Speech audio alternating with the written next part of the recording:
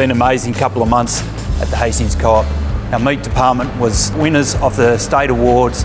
We also won the Community of Service Award for the state and hey, Wauchope IGA was also nominated for the Customer Service Award.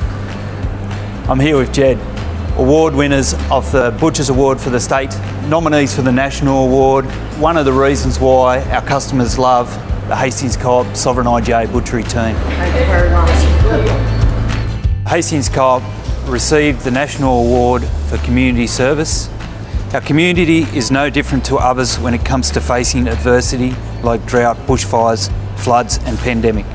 Our community knows that when we are dealt a difficult hand, we can depend on the Hastings Co-op to support them.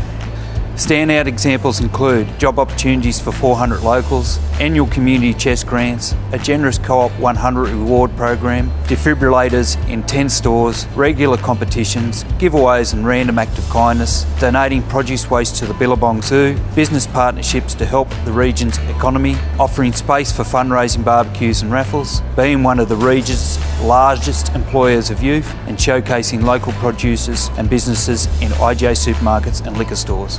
Giving back is ingrained in everything we do. It's what sets us apart. To be recognised on the national stage is a great celebration for us and our staff at the Hastings Co-op, but also for the community. It's all about being a part of the Hastings Co-op family.